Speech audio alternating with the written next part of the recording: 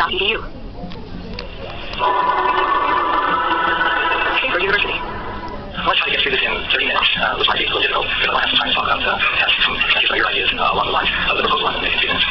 So I'll explain I mean first by those terms. Um, a meso-scale computational model is constructed from components corresponding to algorithmic abstractions to explain activity ensembles of simple components at the micro, or in our case, the molecular scale. Um, and then they're combined in different configurations to generate activity on a macro or behavioral scale. So they bridge the gap between the micro, the molecular, and the behavioral. For example, algorithms describing assembly language can explain aggregate behavior at the level of bits and processor opcodes, but also providing a language in which to explain how subroutines are used to manipulate spreadsheets um, for data documents. A meso-scale model bridges that gap. The meso-scale components are mathematical abstractions. They play a role in hidden variable in machine learning or statistical model. Ideally, such a model can be predicted in diagnostic. Diagnostic is called tall order. Um, tracing pathological behavior back to its root molecular causes is going to be tall order. It's fairly tractable as most markets impose. I'm going to provide a model. Um, I've been working for the last two or three years on behalf of this project. And by the way, I, I started the project four years ago doing taxonomics uh, at, at Google, and that project is doing just fine. That was the structural side of my research in brains.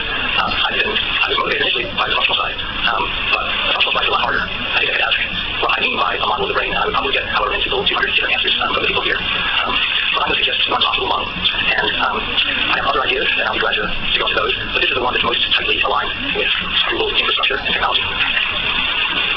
So scientists are long interested in the very large and the very small. However, the latter was largely inaccessible as all of the most patient keen-eyed observers. Albrecht Dürer was one of the few at the time to explore and render the world the small accessible to the naked eye. His woodcut prints and word colors provided extraordinary detail of a hidden world literally right at our feet. The invention and refinement of optical microscopes opened up new worlds. Robert Hooke's micrographia revealed the incredible diversity of tiny animals living in order, as well as taking up residence on and inside our bodies. Many of us are familiar with Ramon Cajal's detailed drawings of neurons that continue to inspire and educate neuroscientists to this day. I came on this drawing um, in Got about 15 years ago. At the time, I, I, I thought that it, it was much more complicated than a real brain could possibly be. I thought that just the opposite, that um, it's not nearly complicated enough. Um, it was the first rendering I'd ever seen at the time that showed the basic density um, of the neuropil, the diversity and distribution of synapses, and other features uh, that I had no idea at that time. The reconstruction of the bottom right is an answer to a question about intracellular action in the assemblies of neurons, and in particular the dendritic spines and smallest processes in the apical dendritic arbors of interneurons. I this, the, the, the conclusion that I got from, from Mark Ellisman and a little bit later, um, if someone's interested in that. Images and 3D reconstructions of this sort will continue to be valuable to scientists. Increasingly, we will only be able to look at a small fraction of the data produced by our experiments. We need machines to scan and interpret these large data sets. Inevitably, they will have to be machines that learn, because they will operate in circumstances and timescales we can't anticipate. Four years ago, we began collaboration with the Allen Institute for Brain Science to understand the mouse visual cortex. This diagram describes a high-level workflow. First, we employ calcium imaging to record from the genetically engineered mice presented with control stimuli. Then we remove a millimeter cube of cortex, scan it with an electron microscope, and generate an annotated 3D reconstruction or connectome of the tissue sample. Finally, we align the structural connectome with the functional calcium imaging data and analyze the resulting data set. My team at Google is working on both the structural and the functional side. The resulting data is measured in petabytes. And we scale up the whole brain, which we hope to by the end of this decade, then we exercise the data to contend with, unless we can figure out some miracle um, to avoid even touching the data once. We also share code and analogies with researchers at the Ingenuity Campus of the Howard Hughes Medical Institute and the Max Planck Institute for Neurobiology in Munich.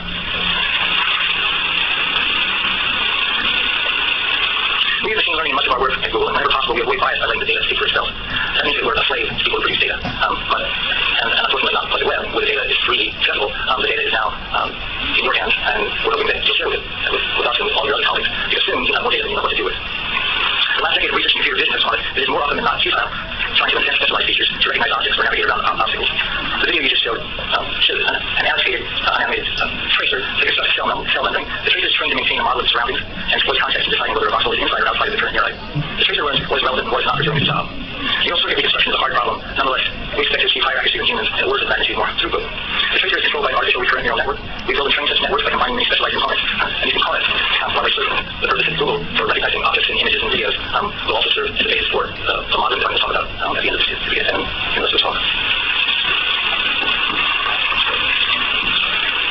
It'll be at least another year before we have a well-curated and fully annotated connectome for the mouse cortex. In the meantime, we've been working on the common food fly, Drosophila melanogaster. We share a fair number of genes with flies, are intriguing parallels between humans and good fly visual systems. So the visual, the visual flow of the fly shown here in red into three successive neuropils, the medulla, um, the lobula complex, and the lamina. Teams are working independently in mapping flight uh, microcircuits. This video is from Jiang Tang Wang's lab at the Institute of Bioinformatics at University in Taiwan and illustrates several trace neurons that span large portions of the fly brain. We need to drill down into the visual order to structure of the sort we're looking. So I've been looking at it the last couple of weeks. The Drosophila compound eye has 800 fast the islets called Polyphia, and Mangua, our focus of here, has 800 corresponding 10-layer columns arranged in hexagonal tiles as shown on the slide. The Janelia seven-column Mangua dataset is a density construction of seven of these columns. Each column has 50 associated neurons, all of them are extensively studied and documented in the literature. In addition to the two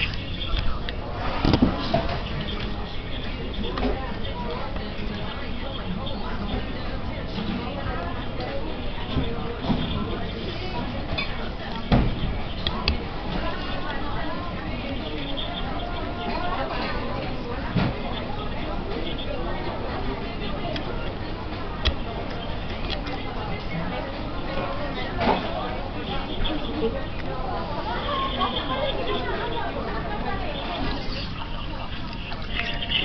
includes all of the neurons in this particular piece of tissue. The next few slides will illustrate a typical workflow to some of the tools we built for exploring such data set. This slide shows a cloud of points. A cloud of points um, that corresponds to the medullary intrinsic neurons um, of type 1, the MI1 neurons. Uh, and the part of the point shown in green corresponds to the central column. Um, those shown in, excuse me, the ones in blue, the central column, and the ones in green correspond to the six adjoining columns. I line to the central column. The VMI1 neurons are particularly interesting because their entire dendritic and axon uh, fibers are, combined in a, in a columnar structure um, and don't extend beyond um, a couple of microns uh, from the central axis. Here I've used uh, the central MI, MI1 axis to define a cylindrical volume for closer study. Um, using this tool, I can selectively turn on specific neurons uh, or classes of neurons, or even neurons that participate in particular subgraphs of the full connect subgraph. The shown here illustrate tools for analyzing skeletons, examining how pairs of highly connected neurons overlap, and, and for looking at the distribution of synapses. I'll say a little bit more about the graphs in panels 8 and 9, but first couple of slides about the graph theoretical and topological analysis uh, that we use in, in order to analyze these graphs. We're primarily interested in categorizing, categorizing the microstructure of the tissue sample. The cartoon in panel A depicts the connectome graph embedded in the 3D volume. We run a, nonlinear convolution filter over the 3D volume illustrated here as a 2D tiling in, in panel B. Despite my inadequate rendering in panel C, um, the enclosed subgraph for a 3D kernel spanning about 20 microns on a side is generally quite complex. So the subvolume enclosed subgraphs are defined by the division of the synapses uh, and not the cell bodies, basically the dual of the connect subgraph. Consider the simple network shown in A. The subgraph comprised, comprised of cell bodies and nodes um, shown in D is not completely contained in the volume that's bounded by the two dashed red lines. Whereas the subgraph shown in panel C employing synapses as vertices is completely contained within the lines. And to find sub subcircuits uh, contained in local subvolumes, we use the convention illustrated in C. Most of the business is going on in the synapses in any case. It's a long history of work um, analyzing neural circuits in terms of the graph theoretic properties. So most of the work has been done in fMRI. In that case, the scale um, of the voxels or, or the, uh, the, basic units of resolution um, are on the order of 5 millimeters um, compared with 10 in the case of the Janelia data set from electron microscopy data. Intuitively, a network motif is a repeating subgraph that defines a pattern of connectivity that exhibits some degree of functional specificity. We're collaborating with House Delaco, an algebraic topologist in India, on classifying subgraphs in terms of topological invariance, packaged algebraic objects, called simplicial complexes. Uh, I'm not going to go into the details here, but if you're interested, uh, I suggest you read um, a great article by David Cox um, in arXiv uh, that provides an overview uh, and um, discusses some work by Jesse at uh, Edmonds. So here's one of those subgraphs. It spans about 20 microns. It doesn't look like 20 microns here because in order to make it look more closely to the, the not the dual, but the, the primary graph, um, I've, I've used instead the, the neurons as the nodes, um, even though all of the synapses are collected in that 20 micron subgraph. This one subgraph involves 148 neurons with about 10 times 1,000 synapses. The simplicial complex consists of all k simplexes for k greater than 0, where k simplex um, is a complete or fully connected graph. What mathematicians called a clique, um, with k plus 1 vertices and the unordered graph, and seen as a network um, that's a single sink um, that all of the all the other uh, nodes drive into. There's actually thousands of simplicial complexes um, in this small uh, subgraph, uh, and, and we're talking about uh, 350 neurons total um, and a very small organism. Understanding these is complicated. Um, if I had more resolution here, you'd see four neurons, um, they're typed. By the way, one of the great things about Janelia data set is all of the full 350 primary neurons are all typed, um, and there's some typing for the other neurons as well, but that's scattered. So in this small area in the center, um, I can identify the types of all five of the neurons. The one, in, the, the, the four of them are, are drawn as circles, and the one is drawn as a, um, as a square is, is, is the primary sink. It's an MI1 neuron, um, which, um, as we've told by biologists, um, is quite uh, common. And diagrams like these um, have been able to be able to map them onto the simplicial complexes um, that exist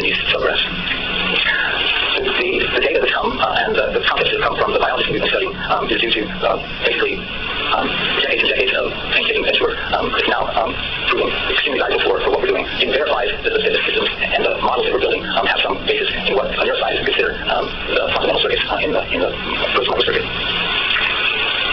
If the pattern of connectivity of these uh, was more or less random, then we wouldn't find anything that corresponds to a motif. Um, so often what we do is we compare um, the motifs that we're getting uh, to random graphs to make sure that um, it's a sanity check, it's not a, a, a confirming uh, thing, but uh, to make sure that, that um, we're not just picking up noise uh, by doing our analyses. the connection strength. Um, so one can infer uh, connection strength uh, by looking at decimal counts and synaptic class measurements, and thereby enriching the graph. Um, this is what we're, part of what we're doing um, in constructing the connections um, is using the same computer vision algorithms in order to, um, to make the estimates of these uh, um, synaptic weights. The case input um, uh, data uh, corresponds to what's called topological invariance.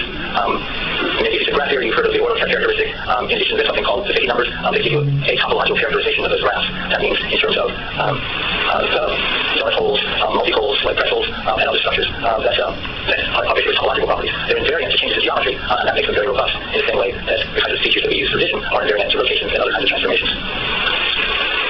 We take those topological invariants and we create feature vectors. And those feature vectors um, are grouped and then they are um, uh, clustered using a variety of different things, collaborative clustering, k-means, almost any clustering algorithm that you apply to those features. And we haven't talked to those features anyway. Basically, we're just getting the, the clustering algorithms, the raw Betti numbers and scalar characteristics, and some summary statistics uh, for the simplices that are found within that graph. If you use that in order to come up with uh, a clustering, um, you get something like this. And these are graphs that are 3D and interactive, and you can rotate them around, um, and you can basically see the patterns within this in the different colors that correspond to the different parts of the, the 10-layer matrix, um, the 10-layer uh, columns, and um, what's known about uh, their structure and where the action is going on within those columns. Worst one I just showed you um, is pretty common uh, in, our lab, um, and we use it basically as a sanity checks to make sure that the kinds of things that we're doing uh, make sense. Um, our objective really um, is to stand back and let the data talk for itself. In the case of connectomic data, we have a huge amount of data, not just the petabytes of data that correspond to um, the images of a single grain, but we have uh, fly data, we have worm data, we have uh, data from um, zebrafish, um, we have data from, from birdsong, that's um, areas of bird uh, cortex. And, and we have multiple organisms. We have literally petabytes of data um, that we can use in a given time. A mouse brain, the entire mouse brain is about exabyte. It's huge. Um, we may not be able to even look at every bit. We may have to figure out some statistical method in order to, to analyze it.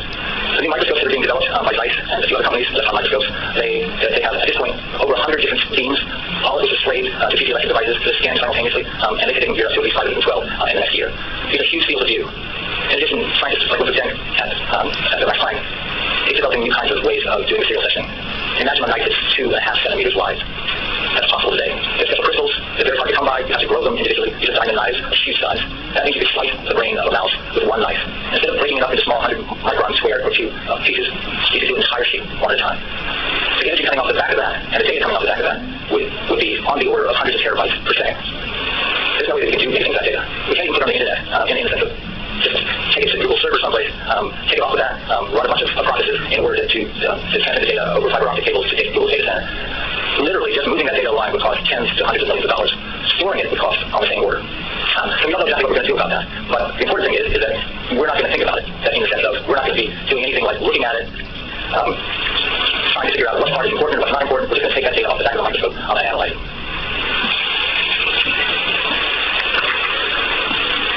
So this is a protocol um, for running a model of CL swimming behavior. I use the word protocol here um, because it isn't really an algorithm. It's not something the machine could perform like a recipe for a cake. Um, requires a trained biologist in order to, to vet it, to make sure that it makes sense. Um, this is work um, out of Manuel Zimmer's lab, um, and Saul Peter was the first author on the paper. Um, the result is a dynamical systems model, um, and it can be parsed in a simple way. Um, the small box on the lower right corresponds to basically a finite state machine. It's a dynamical systems model, um, and one of my colleagues at Google, David Sussillo, um, is one of the world experts in building these models on, on um, uh, currently uh, working with uh, uh, Shenoy and Newsome and other people here at Stanford. There's any reason why you can turn this recipe um, into uh, an algorithm. In fact, some students have done that uh, working in my class last year. I think there are algorithms could be exploit, to exploit the connectome for the, the worm. Um, it happens to be the only full connectome that exists today, um, although that will change soon uh, because Janelia is getting to the point where they will have a connectome for the fly. Um, I believe that the connectome is essential um, for, uh, for running uh, mesoscale models of, of large pieces of uh, cortical tissue or tissue of any sort. Um, I don't really believe that the tools of dynamical systems theory um, are going to scale to larger uh, models, more complicated circuits. And even if they could scale, I'm not sure that they would provide the kind of insight that one would, would like um, of a mesoscale model. In some sense, a mesoscale model has to be accessible both to the behavioral sciences, the behavioral sciences science, um, and, and to the micro um, molecular biologists um, who are working at the cell level in neuroscience. Um, we have lots of models. We have lots of neural networks. Many of them came from work that was done in the 1980s when people got disenchanted with, with uh, neural networks because they couldn't do back propagation through multiple layers of, perceptrons. When we at that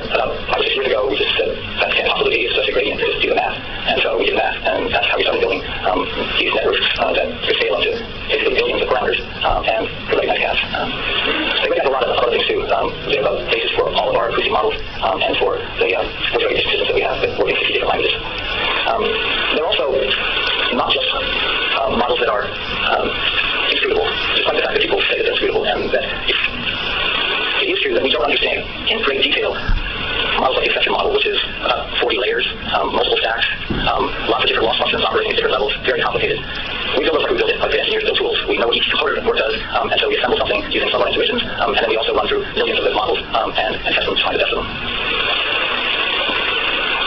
So here are some of those models. Um, and these models are composed of other pieces. Um, if you think about it, these models came from neuroscience, most of them. Selective normalization. Um, convolutional networks based upon level fields, um, presented fields. High-dimensional embedding spaces, distributed coding. Visual style learning um, using multiple association areas. Return sequence originated from researchers that were knowledgeable about neuroscience, but one way or another, they helped neuroscientists think about structures.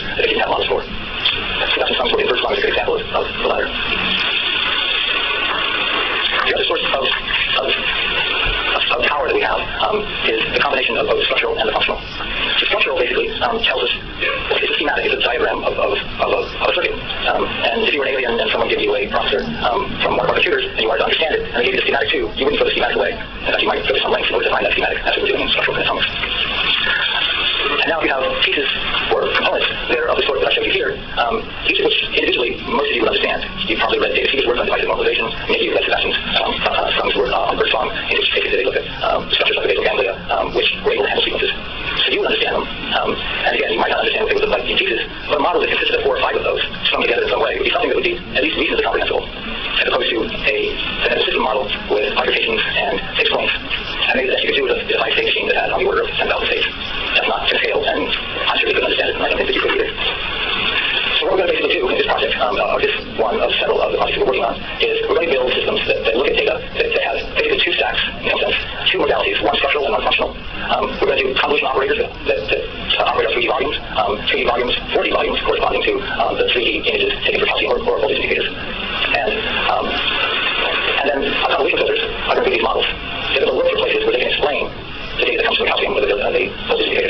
in terms of those models and put it together.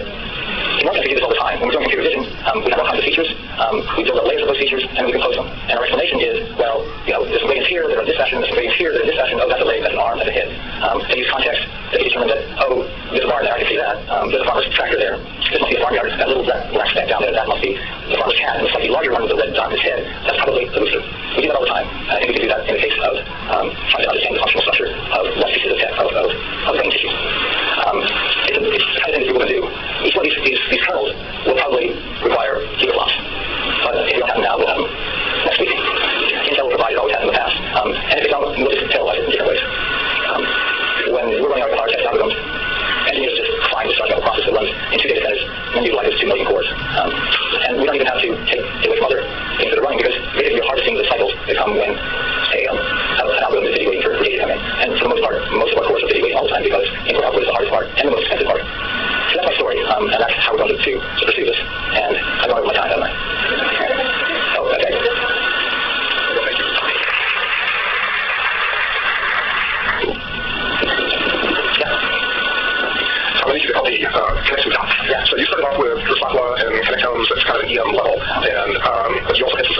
for there with more kind of block diagrams we you were talking about, textual motifs, which I think are really, really important. Uh, and then we came up to this kind of thing, which is very Zeitfeld is kind of a deep learning convolutional net kind of model. And where, which of those levels do you think um, the real secrets are going to lie for us to understanding computational principles of brain? I mean, I, I have some biases here, but I'd like to hear your, uh, your thoughts about that, because you, you're doing these three levels. It's not clear in your own mind how they're connected and what, what, what they're important for. So something is worth using dynamic systems theory in order to understand um, C. actually a small fraction of CLS behavior. Um, Saltair's work on uh, launching elegans um, provide a reasonable model for um, a small fraction of the, of the behavior multi-agers. And with better health imaging, um, better tracking, um, more uh, ability to uh, optimize interventions, we'll do better. Um, and we can probably come up with a reasonable model of that entire um, organism.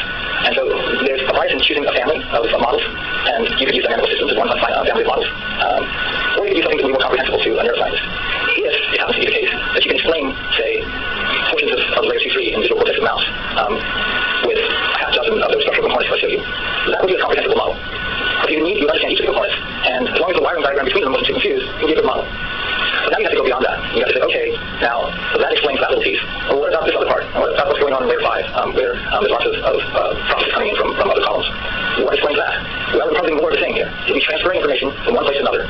And a lot of these models, there's a model shown here, um, aren't the more complicated things like divisive normalization or max pooling. They're basically just transformations. And you can sort of think of taking one distributed code from one place and making a transformation to another place. With matching two between the two things by playing with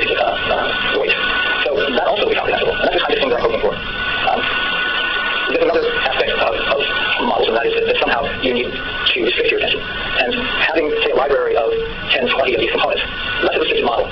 You can't learn anything either that generalizes beyond, beyond what you've seen, um, unless unless you have some sort of a, um, a model that, that is, is limited in some way. Doing vectorization is one way of doing that.